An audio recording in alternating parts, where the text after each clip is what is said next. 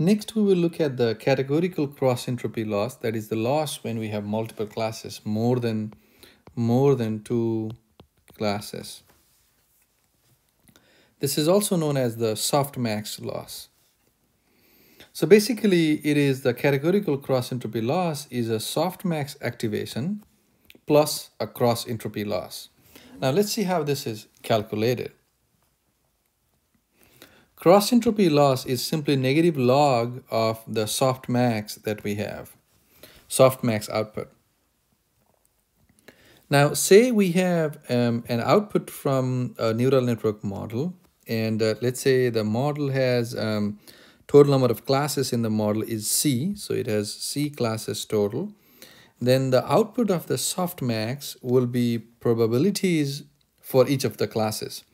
The way we obtain those probabilities is by we simply exponentiate the each output of the each neuron for each class and we divide by the sum of all those exponents to obtain probabilities. So this FSI is the probability for each class. Probability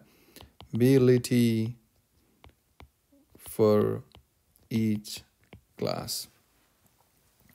Then once we have the output of this softmax, the next step is to calculate the cross entropy. And cross entropy is simply negative of the log of this probability for the true labeled class. So for all other classes, this ti becomes zero, but for the class that's the true label, this will be um, a one.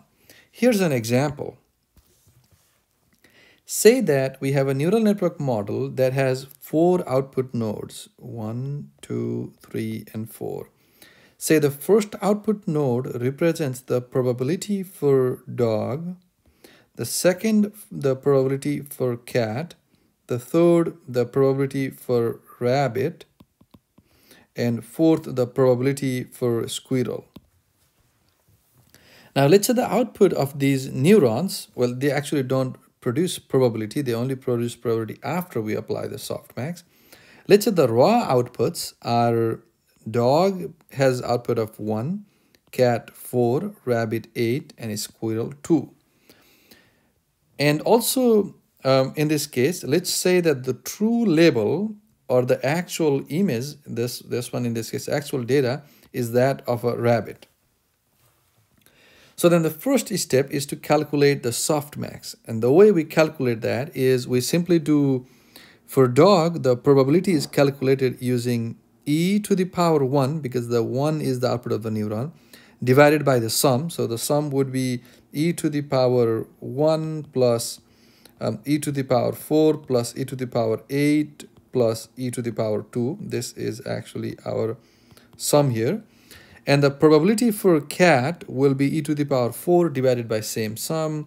And the probability for rabbit will be e to the power 8 divided by the same sum. And the probability for a squirrel will be e to the power 2 divided by the same sum. So clearly, the probability for rabbit will be very high. But then the way we calculate cross entropy loss is that we simply negate and then for each class that's not true, we replace that by a zero, right? So um, since the true label is not a dog, we make this 0. And since the true label for cat, um, true label is also not cat, we make this 0.